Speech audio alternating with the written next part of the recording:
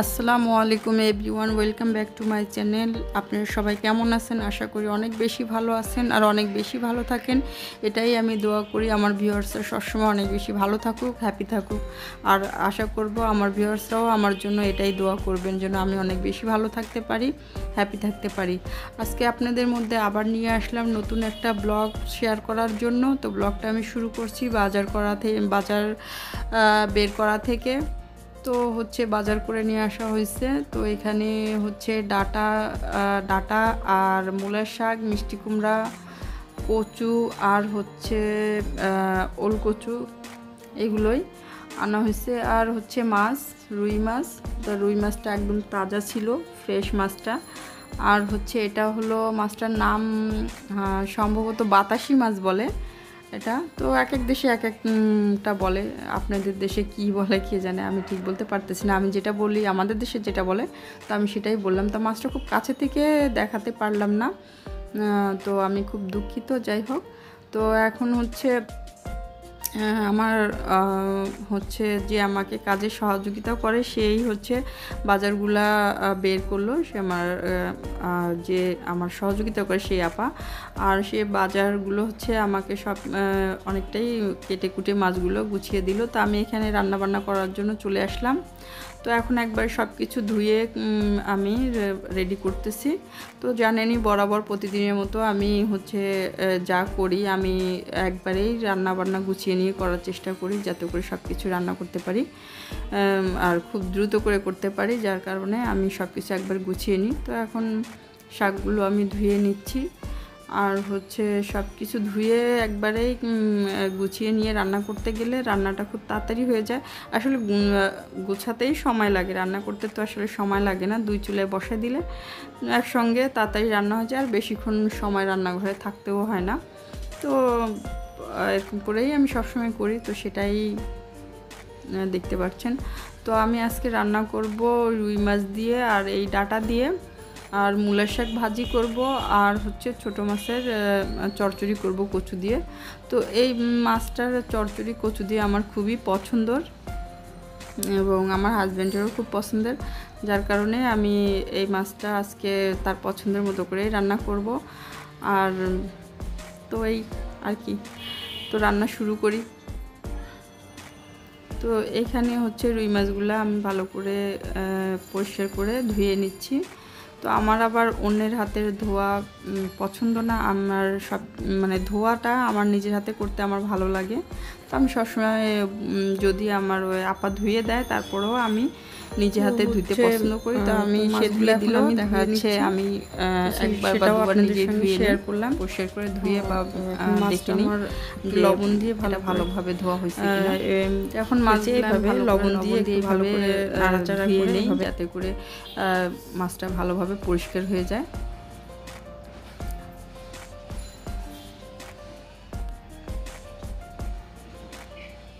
তো এটাই স্বাভাবিক। অনেকেই হয়তো এই কাজটা করা হয় বা করে যে অন্যের হাতের রান্নাটা অনেকের পছন্দ না বা অন্যের হাতের কাজ করা ধোয়া টোয়া, এটা আমার আমার পছন্দ না, হয়তো অনেকেরই পছন্দ না আমার মতো। তো নিজে করাটাই ভালো। তো এখন আমার মাছগুলো ধোয়া হয়ে গেছে। তো আমি এখন মাছগুলো লবণ হলুদ দিয়ে ম্যারিনেট করে রেখে দেব। যাতে করে লবণ হলুদ আর একটু মরিচের গুঁড়া দিয়ে দেই। যাতে করে মাছটার টেস্টটা ভালো হয় আর একটু মেখে রেখে দিলে মাছের মধ্যে লবণ, হলুদ, মরিচটা ভালোভাবে ঢুকতে পারে। তো আমি রেখে দিলাম। তো এখন রান্না শুরু করব। তো হচ্ছে প্রতিদিনের মতো যখন আমি কাজ করতে যাই আর গিয়ে দেখি যে আমার কড়াইটার চেহারা কি অবস্থা, তো আমাকে কড়াইটা মেজে নিতে হয়। প্রতিদিনই বুয়া হচ্ছে ছাই দিয়ে কখনো সে মাজে না। বা ইয়ে করে না। তো যাই হোক, এখন আমি এটাকে, কড়াইটাকে একটু মেজে পরিষ্কার করে নেব। তো দেখতেই পাচ্ছিলেন কড়াইটা কি এমন অবস্থা, একদম কালো হয়ে গেছে। তো এখন আমি কড়াইটা মেজে নিচ্ছি একটু ছাই দিয়ে।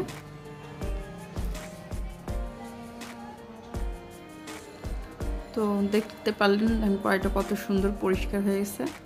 তো এখন আমি রান্না শুরু করে দিলাম। তো এখন মূলা শাকটা ভাজি করে নিব।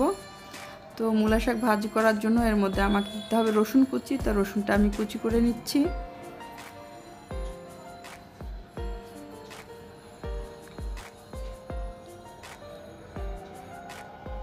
তো প্রতিদিনের মতো পেঁয়াজ, রসুন কুচি দিয়ে দিলাম। এখন কাঁচামরিচ ফালি করে নিলাম।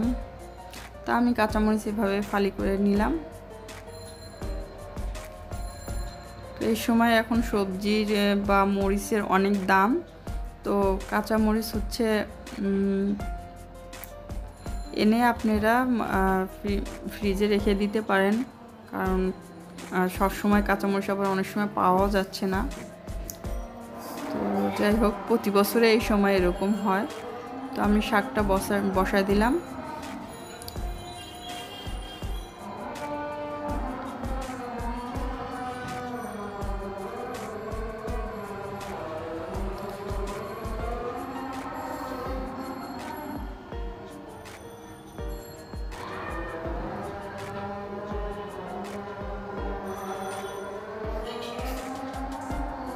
আমার শাকটা প্রায় হয়ে গেছে। শাক ভাজিটা করা হয়ে গেছে প্রায়। তো এখন শাক ভাজিটা আরেকটু নাড়াচাড়া করে, ভাজা ভাজা করে, তো আমি নামিয়ে নেব। নিয়ে তো রান্না বান্না শুরু হচ্ছে তরকারি রান্না করব এটার মধ্যে, এই কড়াইয়ের মধ্যে। তো আমি এরকমই করি, সবসময় কড়াইয়ের মধ্যে তরকারি রান্না করি, করে হচ্ছে এটা আমি ঢেলে নেই।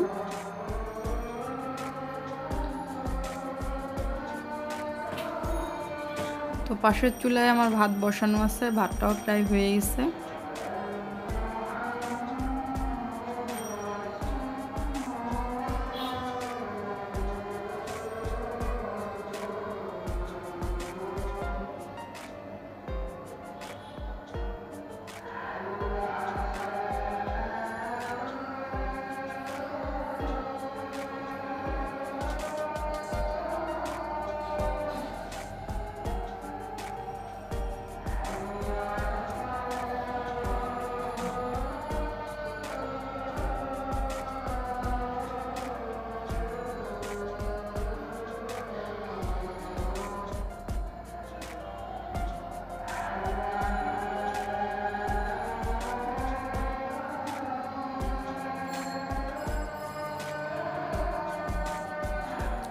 দেখতে পারতেছেন যে আমি মাছ ভেজে নিচ্ছি।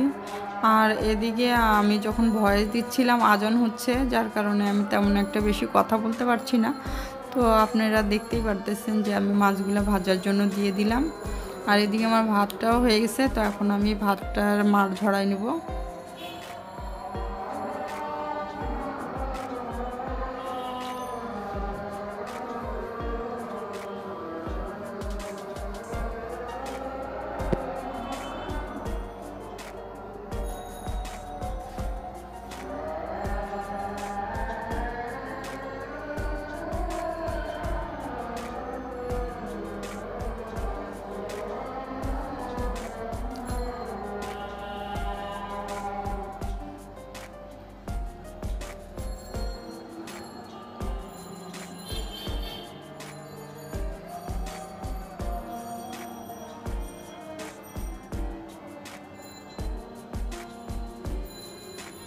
তো আমার ভাতটার মার ঝরিয়ে আমি রেখে আসলাম। আর এখানে হচ্ছে মাছগুলো ভাজতেছি। তো মাছগুলো ভাজার জন্য পাশের চুলা দিয়ে দিলাম। আর এখানে আমি হচ্ছে ডাটাগুলো একটু ভালো, ডাটাগুলো কষিয়ে নেব। তো হচ্ছে তার জন্য কড়াইয়ের মধ্যে দিয়ে দিলাম পর্যাপ্ত পরিমাণ তেল, আমার যতটুকু প্রয়োজন। আর দিয়ে দিলাম কিছু পেঁয়াজ কুচি।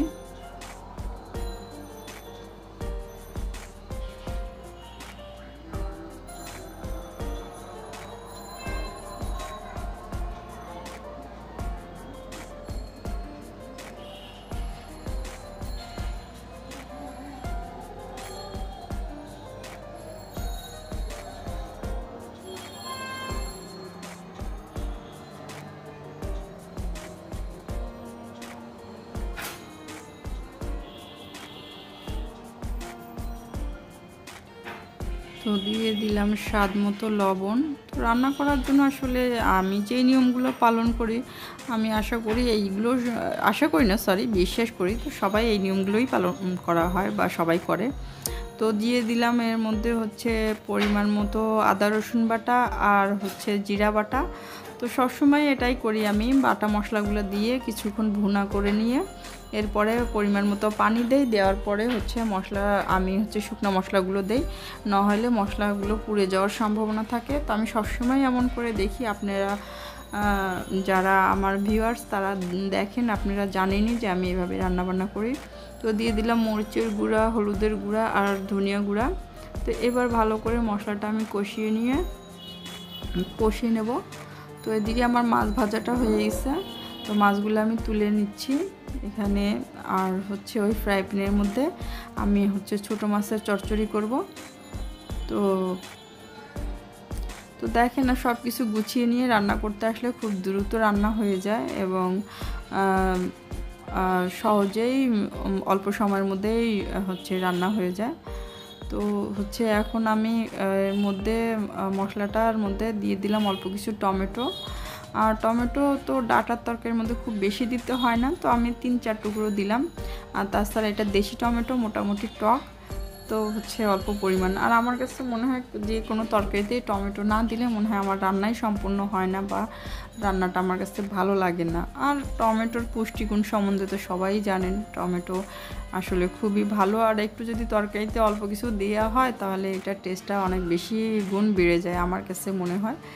তো দেওয়া ভালো। আর এই গরমের সময় হচ্ছে টক জাতীয় খাবারটা খাওয়া আমাদের শরীরের জন্য খুবই উপকারী। যাই হোক, আর এর মধ্যে দেখতে পারলেন যে কিছু কাঁচা মরিচ চিরা আমি দিয়ে দিলাম। তো আমি এইভাবেই করি।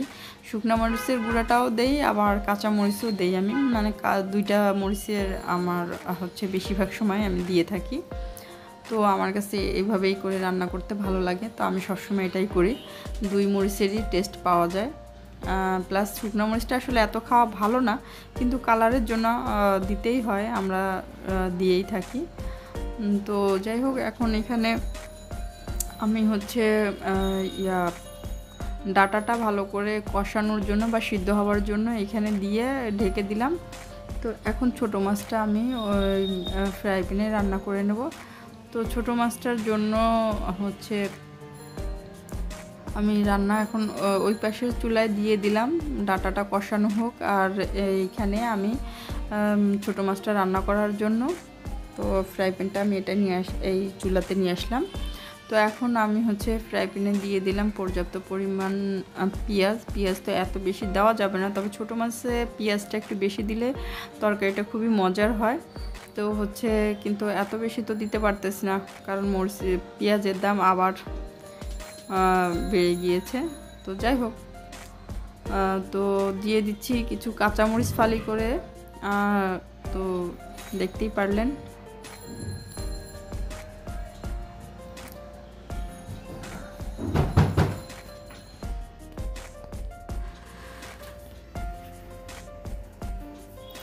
তো হচ্ছে এখানে দিয়ে দিলাম এখন আমার স্বাদ মতো লবণ আর আদা রসুনের পেস্ট। জিরার পেস্ট। তো রীতিমতো যা করি তাই করতেছি ভেজে নিচ্ছি। তো আপনারা দেখতে থাকেন আমি ছোটো মাছটা কীভাবে রান্না করতেছি, ওইখানে ডাটার তরকারিটাও রান্না করতেছি। আর আপনি, এই ফাঁকে আপনাদের সঙ্গে আমি বলে নিচ্ছি আজকে আমার ব্লগটা আপনাদের কেমন লাগছে, আশা করি ভালো লাগছে। তো আপনাদের ভালো লাগার জন্যই কষ্ট করে আমি ব্লগগুলো করি। তো আমার ব্লগটা ভালো লাগলে একটা সাবস্ক্রাইব করবেন প্লিজ। আর যারা সাবস্ক্রাইব করছেন তাদেরকে অনেক বেশি ধন্যবাদ। আর যারা করেন তারা সাবস্ক্রাইব করে নেবেন। আর হচ্ছে পাশে থাকা বেল আইকনটা বাজিয়ে দিবেন, যাতে করে আমি নতুন কোনো ভিডিও দিলেই সঙ্গে সঙ্গে আপনাদের কাছে নোটিফিকেশন চলে যায়। আর কি বলব, তো দেখেন আমার রান্নাটা এখানেই আপনাদের সঙ্গে শেয়ার করতেছি, আর খুব বেশি কথা বলব না। তো রান্নাবান্না প্রায় অনেকটাই হয়ে গেল। তা মশলার মধ্যে কচুটা দিয়ে আমি ভালো করে ওটা হচ্ছে একটু নাড়াচাড়া করে কষিয়ে নিলাম, আর দিয়ে দিলাম এবার মাছগুলো। তো তরকারি চচড়িটা অনেক সুন্দর হয়েছিল, অনেক মজার হয়েছিল। তো হচ্ছে এখন মাছগুলো দিয়ে এখন একটু ভালো করে নাড়াচাড়া করে কষিয়ে, তো সিদ্ধ হবার জন্য আমি পর্যাপ্ত পরিমাণ পানি দিয়ে দিব। দিয়ে হচ্ছে আমি রান্নাবান্নাটা প্রায় শেষ করব।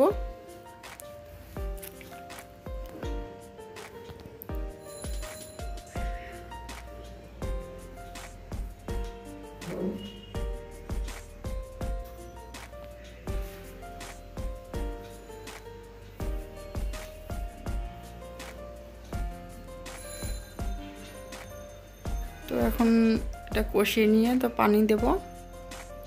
তো এটা মোটামুটি কষানো হয়ে গেছে। তো এখন হচ্ছে দিয়ে ছোটো মাছ এত বেশি তো কষানো যাবে না নাহলে ভেঙে যাবে। আর এই মাছগুলো সাধারণত খুব পাতলা হয়ে থাকে, তো খুব বেশি নাড়াচাড়া করা যায় না। তো যাই হোক, তো এখন মাছটার মধ্যে পানি দিয়ে দিলাম। এদিকে আমার ডাটার তরকারিটাও প্রায় হয়ে গেছে। এখন এটাতেও ঝোলের জন্য পানি দিয়ে দেব। আর দিয়ে দেব হচ্ছে মাছগুলো।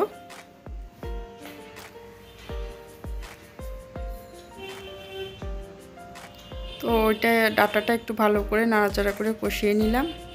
এখন ঝোলের জন্য পানি দিয়ে দিলাম। তো ডাটাতে খুব বেশি একটা ঝোল রাখলে ভালো লাগে না। তো ঝোলটা আমি একদম অল্প পরিমাণেই রাখব।